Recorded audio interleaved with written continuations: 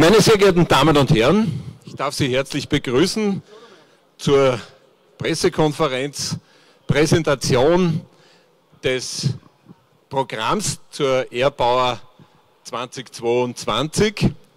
Wir beginnen stilecht mit einem Solo-Display eines Eurofighter, äh, der demnächst äh, starten wird.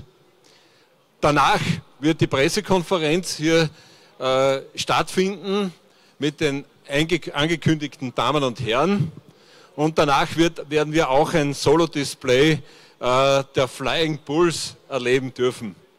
Es wird die Möglichkeit geben, dass Sie im Anschluss an diese Vorführung auch noch äh, Interviews bekommen durch die anwesenden Entscheidungsträger.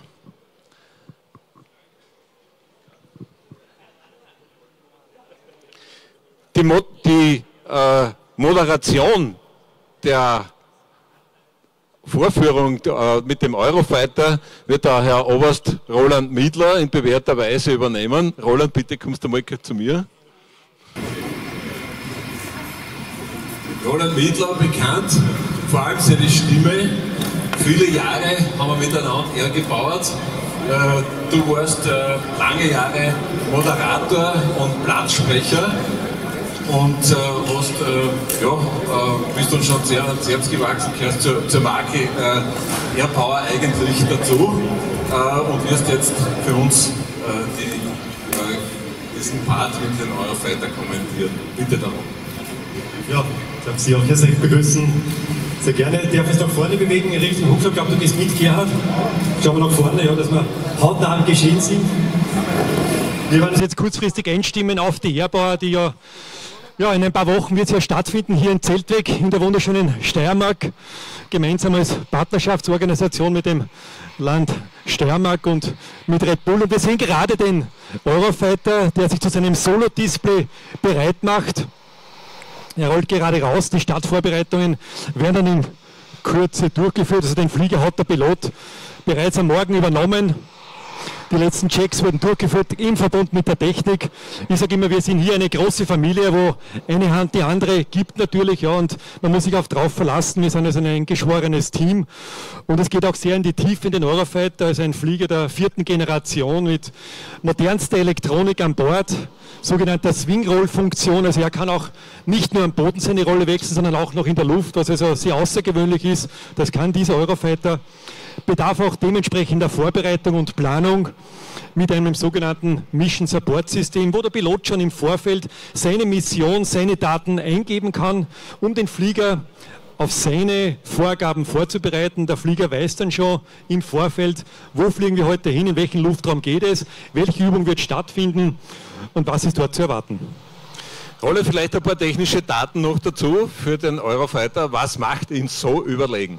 Ja, vor allem seine Leistungsfähigkeit des Eurofighter, wie schon gesagt, modernste Generation, Delta-Flügelprofil, ein sehr schnelles Profil, sehr wendiges Flugzeug, ja, äh, wurde sehr sensibel ausgelegt, also mit einem vierfachen Fly-by-Wire-System, also wird also mit Bits und Bytes kontrolliert. Der Pilot gibt quasi seinen Wunsch ein und der Flieger reagiert dann darauf. Er rechnet im Hintergrund, wie schwer sind wir, wie schnell sind wir, wie hoch sind wir und da gibt er die maximalen Belastungen frei und die sind in der Regel bis zu 9G, also der Pilot wird im Cockpit neunmal so schwer mit der Anziehungskraft wie am Boden, also wo wir jetzt 1G haben und recht entspannt am Boden stehen. Aber das ist dann wirklich Schwerarbeit und harte Arbeit für den Piloten dann im Cockpit. Und wir werden es dann sehen bei den Manövern. Ich werde dann auch darauf hinweisen, wo diese hohen G-Kräfte dann aufscheinen, wie er dann schwer dagegen arbeiten muss. Ja, wir erinnern uns ja, seinerzeit sind ja auch Draken stationiert gewesen.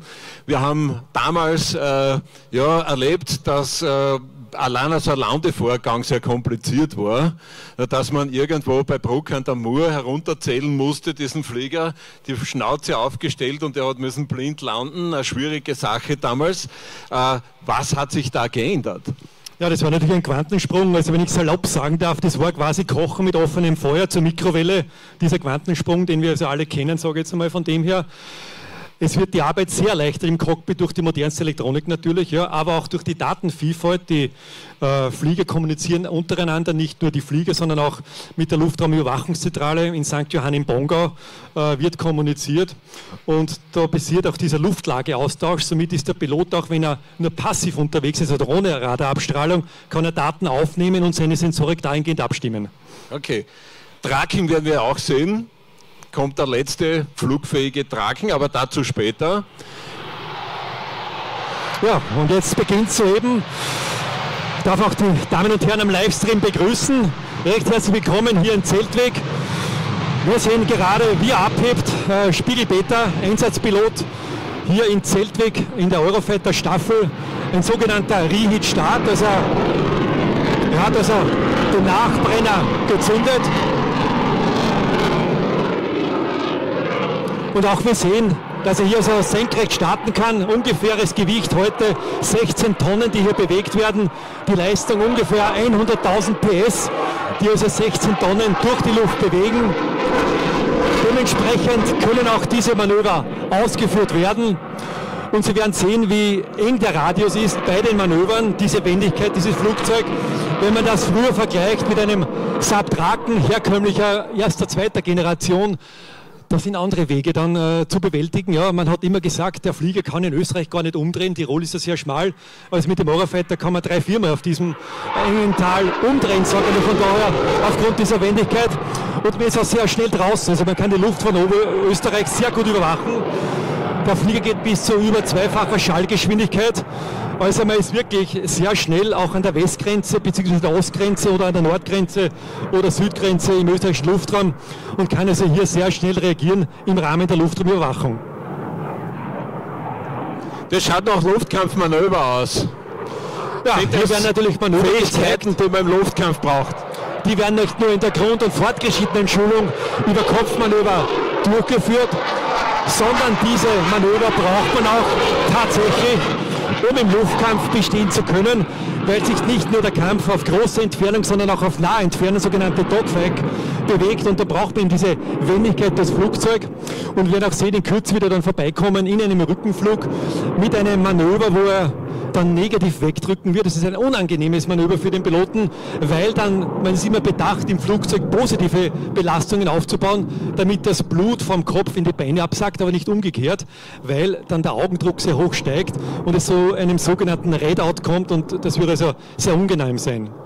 Er kommt jetzt aus Richtung Westen auf uns wieder zu winkt uns zu quasi, ja, grüßt uns aus der Luft. Ja, er kann uns auch sehr gut sehen. Auch bei der Airbar ist auch für die Piloten dann ein einzigartiges Ereignis, wenn hier also dann an den beiden Tagen jeweils 150.000, in Summe 300.000 Zuschauer erwartet oder kommen werden, weil normalerweise unser Geschäft hoch über den Wolken bis zu 15, 16 Kilometer im Luftraum über Österreich stattfindet und das unter Ausschluss der Öffentlichkeit quasi. Und darum ist es dann für den Piloten auch etwas Besonderes, seine Demonstration also hier direkt vorführen zu können. Wir sehen sehr schnell die Rollrate. Hier zum Beispiel ein Max Performance Turn, also hier wird er von bis zu 7, 9 G in den Sitz gedrückt immer nach 90 Grad führt eine Rolle durch. Also sehr wendig das Flugzeug. Mindestflughöhe sind 100 Meter über Grund. Internationale Regularien, die hier eingehalten werden. Auch der Abstand zu den Zusehern dementsprechend wird natürlich auch bei der Airbauer eingehalten, um hier allen Sicherheitsregularien zu entsprechen. Nachdem er also hier sein Manöver am engen Radius durchgeführt hat, wird er jetzt einen Aufschwung durchführen Richtung Nordwesten, dann wegdrehen und dann aus Richtung Nordwesten in einem Rückenflug, wo also bis zu minus 3G auftreten, wie schon gesagt, das, Kopf, das Blut schießt ihm dann in den Kopf, er muss dagegen ankämpfen. Der Pilot trägt, um positive G-Belastungen aushalten zu können, um in diese 9G aushalten zu können, einen speziellen Anzug, einen sogenannten Anti-G-Anzug, der also auch über den Bauch in den Beinbereich bis zur Wade mit Luft gefüllt ist dann bei hoher Belastung und hier das Abfließen des Blutes in die unteren Extremitäten verhindern soll.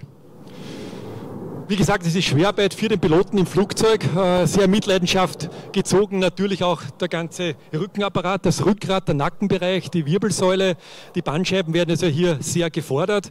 Hier dieses angesprochene Manöver, jetzt sieht er auf uns herab, wir können ihm zuwinken, er sieht uns, drückt kurz weg, geht in die normale Rückenfluglage, etwas angenehmer wie in einer, in einer Kurve, drückt noch einmal hoch, auch bis zu minus 3G, rollt dann wieder auf. Und jetzt kommt die kurze Phase wieder der Entspannung, bis er sich für das nächste Manöver vorbereitet. Wie gesagt, alles Manöver, die also in der Grundfortgeschrittenen und auch bei Luftkampfmanöver natürlich durchgeführt werden. Wir befinden uns hier genau auf der EPRON 5, wo also die Flieger- und Fliegerabwehr-Truppenschule beheimatet ist, mit dem Institut Flieger, wo also diese Grundausbildung stattfindet. Wir haben soeben auch die letzte Selektion für heuer also abgeschlossen, die also dann mit der PC7 dann ihre Schulung beginnen. In weiterer Phase dann geht es nach Lecce, Italien, für die Phase 3 und für die Phase 4 Ausbildung, beziehungsweise auf dem Hubschrauber, wo wir auch gerade dabei sind. Wir haben den ersten Kurs bereits seit Juni laufen in Italien auf die AW 169, was für uns ein großer Gewinn ist. Ja, moderne Technologie, modernes Gerät, was für ein breites Spektrum eingesetzt werden kann. Und da sind wir sehr froh, dass dieses Gerät auch beschafft wurde und den Zulauf in Österreich finden wird.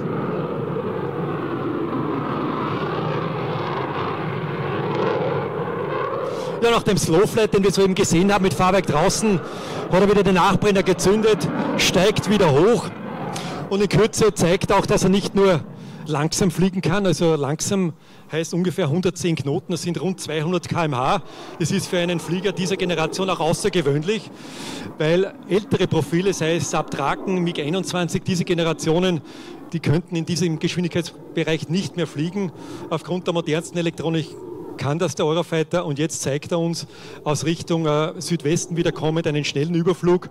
Hier begrenzt bei der Airbauer mit Mach 09, also im Unterschallbereich maximal 900 km/h aus Sicherheitsgründen. Äh, normalerweise die zweieinhalbfache Schallgeschwindigkeit, also über 2500 km/h, wären möglich. Wir sehen ihn hier ruhig, der Schall kommt hinterher.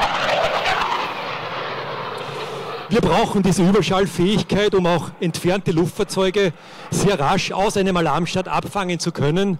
Das heißt, wir sind hier 365 Tage im Jahr auf Einsatzbereitschaft mit dem Eurofighter, der jederzeit alarmiert werden kann, im Verbund mit der passiven Luftumüberwachung mit dem System Goldhaube, mit den Radarstationen, die also hier das Luftlagebild liefern und im Anlassfall einen Alarmstart generieren. Und der kann gesteuert werden. Der kann gesteuert werden aus einer, aus einer Sitzbereitschaft, wo wir quasi im Flieger schon sitzen, das Flugzeug vorbereitet ist und in wenigen Minuten, circa drei Minuten in die Luft kommen bis hin der unerwartete Alarmstart, wo die Piloten vorbereitet sind im Verbund mit der Technik, das Flugzeug äh, durchgecheckt haben, dann dauert es maximal neun Minuten, also ohne Vorwarnung de facto. Und hier ist es dann sehr nett, wenn man also sehr hohe Geschwindigkeiten erreichen kann, um eben diese West-, Ost-, Nord- oder Südgrenzen zu erreichen. Ja, es schaut ja schon relativ schnell aus. Äh, man muss dann, kann man davon ausgehen, dass er bei diesem schnellen Überflug, wenn er die volle Leistung bringt, noch einmal zweieinhalb Mal so schnell ist wie jetzt. Ja, da ist er dann wirklich sehr schnell in der Luft.